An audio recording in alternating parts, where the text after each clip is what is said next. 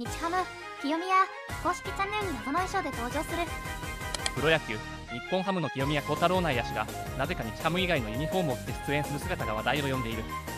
その姿がこちらだ。パーソルパ・リーグ TV 公式 YouTube のインタビュー動画に登場した清宮。着用していたのは背番号21自身の番号だがなぜか女子サッカー日本代表なでしこジャパンのレプリカユニフォームだった。ピンクとパープルが鮮やかな一着。動画では自身が関わった新プレーについて振り返っているがなでしこジャパンのユニフォームについては語っておらず動画コメント欄ではパーソルパ・リーグ TV からこのように説明されている。清宮幸太郎が身につけているユニが非常に気になるところですが撮影日になでしこジャパンの試合があり応援の意を込めて着用していたとのことですこれで謎は解けましたねファンからは可愛い似合うな今度はお父様のチームのユニ着てほしいですね。なでしこジャパンのユニが意外と似合うな清宮。サッカーユニについて書こうとしたらすでに回答あってきた。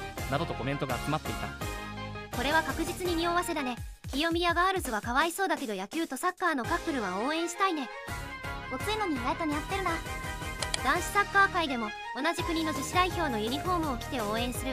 ということが2022年度女子ユーロから始めており今年も女子ワールドカップ前に男子代表がやってましたね。受け答え高青年すぎる。愛されキャラで可愛くて好き。なんで愛されるかよくわかるわ。爽やかな受け答えがいいね。ご視聴ありがとうございました。